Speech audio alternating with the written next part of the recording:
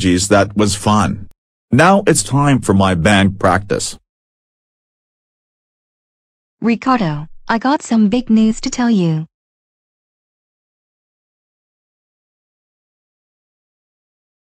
Oh my god! What are those pictures?